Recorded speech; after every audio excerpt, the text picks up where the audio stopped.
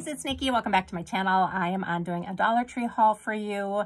I have pictures and um, a few little video snippets at the end that I'll show of some things that I didn't pick up, but wanted to show you a couple things that were new to me. So I found these 12 by 12 paper pieces.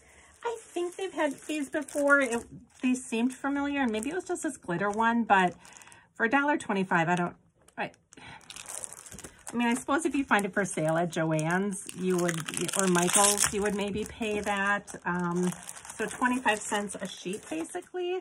And then you, you know, you don't get to decide which colors they are. So I, I don't know. I mean, it was kind of a fun pickup, but this is a really pretty pink, a light pink. This mint green is really pretty. I love the navy blue. And then there's cream and then just this deep lavender color. So See, those are really nice. And I don't know if the camera's able to pick that up, but this is actually kind of a textured paper.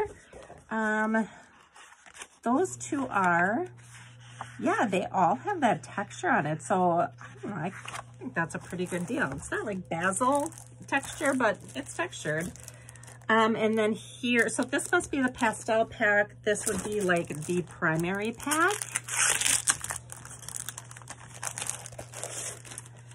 Um, and then this one has yellow, white. Ooh, I got a bonus piece. Two whites. I think there's, yeah, there's only supposed to be five. So, um, so yellow, white, green, blue, and then red. So, you know, not colors that I normally craft with, but I just wanted to pick it up to show you guys. And then the glitter pack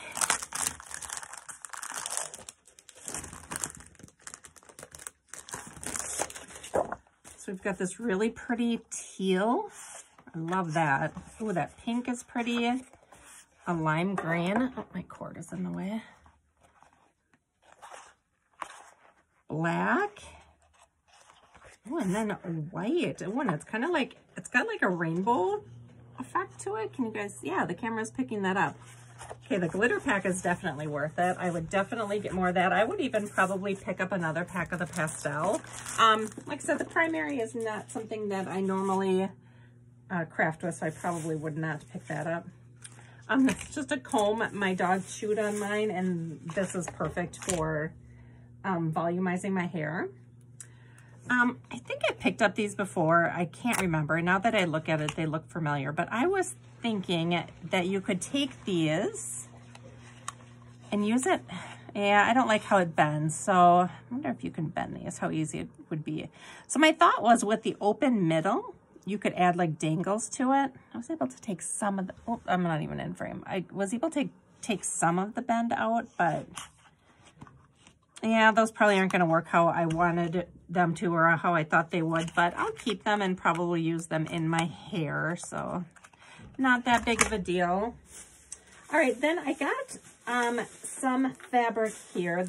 The, um, oh, what is it called with the nautical? Shore Living. They had a bunch out that I'll show you some pictures at the end. These were just in the regular craft aisle. I did like the different types of navy navy blue. I just feel like that's a color they don't carry often. So I just picked up three of these. And then this one, I'm not into like the the jungle theme or anything, but I thought of Tina, how she likes the good vibes, um, Maggie Holmes collection, and I thought maybe this went with that. So Tina, if you've not seen this or if you're interested in it, let me know. I'll send it over to you. Um, but I thought that was cute. And then my last couple things here are beads. Um, I picked up this one. They did have I think, three different charms. One was a flag, one was this star, and then there was something else too, but I liked the star the best, so I picked up that one.